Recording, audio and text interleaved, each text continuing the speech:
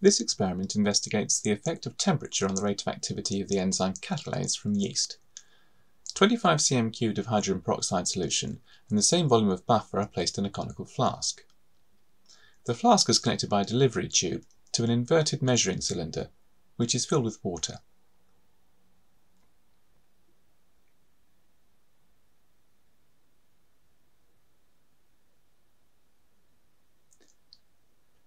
Two and a half cm cubed of yeast can be injected into the flask using the syringe.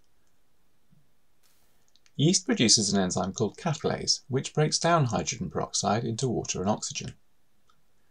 The oxygen bubbles through the delivery tube and is collected in the measuring cylinder. We can calculate the rate of activity of the enzyme by seeing how fast the gas accumulates. In this case, we're going to record the time taken to collect 25 cm cubed of gas.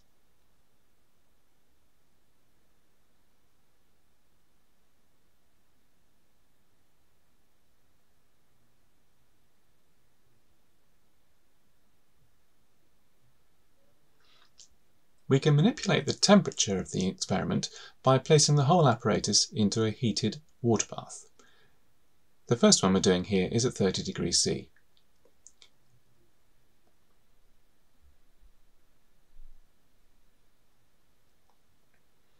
You need to watch all of the experiments and record the time taken to produce 25 centimeters cubed of gas each time. Note the time and the temperature for each experiment.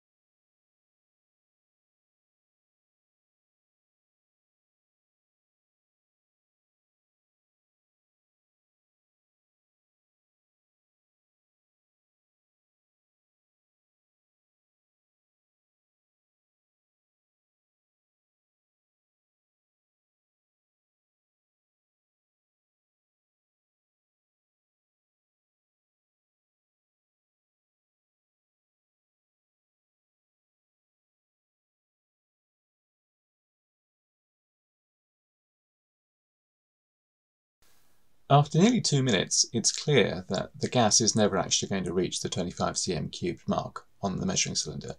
So for this experiment, we should record the time as infinity and the rate as zero.